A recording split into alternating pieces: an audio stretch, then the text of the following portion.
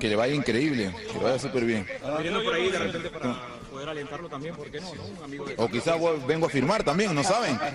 Jefferson Farfán llegó a Trujillo para verse con Paolo y troleó a periodistas. Quizás vengo a firmar. La Boquita se refirió a la llegada de Paolo Guerrero a la César Vallejo y también aprovechó en bromear a la prensa en Trujillo. Jefferson Farfán arribó este miércoles a la ciudad de Trujillo para reencontrarse con Paolo Guerrero, su compadre y nuevo jugador de César Vallejo. A su estilo, la Boquita le jugó una broma a los periodistas sobre un posible vínculo con el conjunto poeta. El exfutbolista fue abordado por la prensa en el aeropuerto internacional Capitán FAP Carlos Martínez de Pinillos, ante lo cual le dejó un mensaje a Paolo Guerrero tras su llegada a César Vallejo. En otro momento, Jefferson Farfán fue consultado sobre la posibilidad de que Paolo Guerrero llegue en un futuro a Alianza Lima para poner punto final a su carrera. Dios quiera, sería una alegría para todos, sentenció.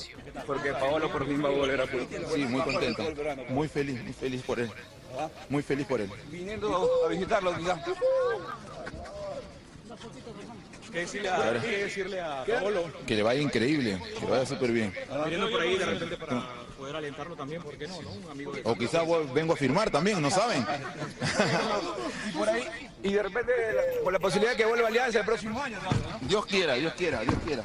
Sería una alegría para todos. Viniendo a hacer proyectos acá Jefferson, quizás con él, No, no, vengo a conversar con él, a estar con él, apoyarlo. apoyarlo. Hacerle compañía ahorita que, que- que está con el Coyote nada más. Exactamente. ¿Después de cuándo volvés a ver?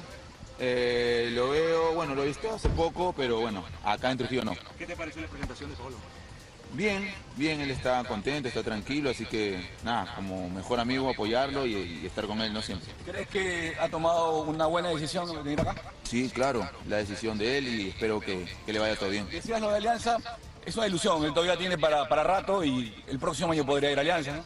Sí, eso ya va a depender mucho de él, ¿no? De él y de las personas que, que lo manejan. Y, y lo último, y que esté entero para la selección que lo necesita más que nunca. Sí, claro que sí. Esperemos que esté en la selección y le vaya de la mejor manera y que disfrute, ¿no?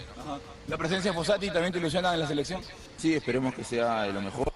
Eh, sabemos que está difícil la situación de la selección, pero yo creo que van a replantear todo. Que Cueva también se recupere. Sí, de todas maneras, al mil por ciento. Sin Cueva va a estar más complicado todavía. ¿Ya?